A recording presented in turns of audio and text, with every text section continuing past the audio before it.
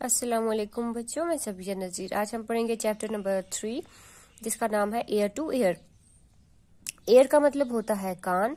हमारे जो five sense organs हैं सेंस ऑर्गन्स वो ऑर्गन्स जिन, जिन्हें जिनके इस्तेमाल से हमें बाहर की दुनिया का पता चलता है उन पाँच सेंस ऑर्गन्स में एक ऑर्गन जो है वो एयर है कान है। कान से हम सुनते हैं।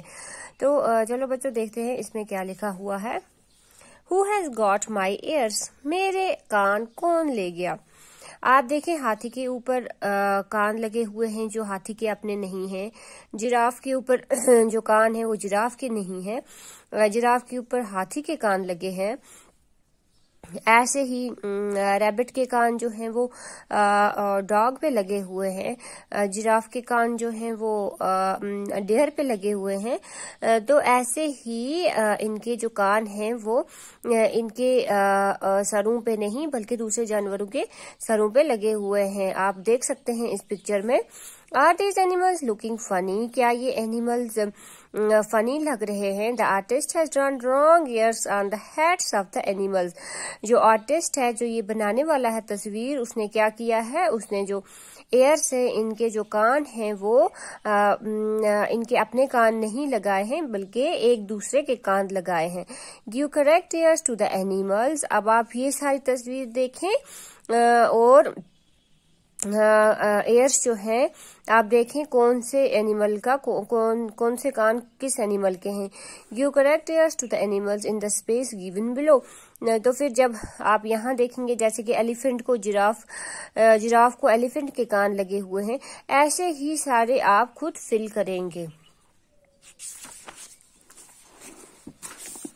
Different animals have different kind of ears जैसे कि आपने देखा होगा कि अलग अलग किस्म के एनिमल्स जो होते हैं जानवर जो होते हैं, उन्हें अलग अलग किस्म के कान होते हैं।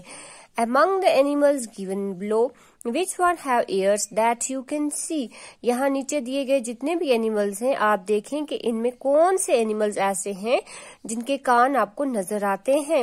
In which animals can in which animals can you not see the ears और कौन से एनिमल्स हैं uh, जिनके कान आपको नज़र नहीं आते? Right in the table below तो इस टेबल में आपने लिखना है। Animal whose ears we can see ये एनिमल्स हैं जिनके हम कान देख सकते हैं। मैंने यहाँ पे लिखा हुआ है, जैसे डियर है टाइगर है बुफेलो है पिक है जिराफ है एलिफेंट है। इनके कान हैं, हमें नज़र आते हैं। इनके बड़े कान होते हैं तो हमें नज़र आते हैं। Animal whose ears we can not see तो ये एनिमल जो है, इनके कान जो है, हमें नज़र नहीं आते। जैसे फ्रॉग है फ़िश है आंट है क्रॉ है स्पैरो है, लिजर्ड है तो इनके कान जो है, वो हमें नज़र नहीं आते। You think that animals whose ears we can not see really do not have ears तो आपको क्या लगता है कि जिन एनिमल्स के कान हम नहीं देख सकते, क्या सचमुच उनमें कान नहीं होते? Let us observe this picture तो हम क्या करते हैं? इस पिक्चर को देखते हैं। आप देखें, इस पिक्चर में बहुत सारे परिंदे हैं। पैरट है इसमें। इसमें हेन है क्रो है डक है तो ये पिक्चर आप देखें। Name the animals in the pictures इन सब एनिमल्स के आपको नाम लिखने हैं। जैसे कि ये हेन है आ, आ, उसके बाद ये पिजन है ये पैरट है डक है ये क्रो है ये फ्रॉग है। Can you see their ears क्या आपको इनके कान नज़र आते हैं? दे ऑल हैव एयर्स हमें तो इनके कान बिल्कुल भी नज़र नहीं आते, लेकिन इनके कान होते हैं even though we can not see them लेकिन हमें इनके कान नज़र नहीं आते.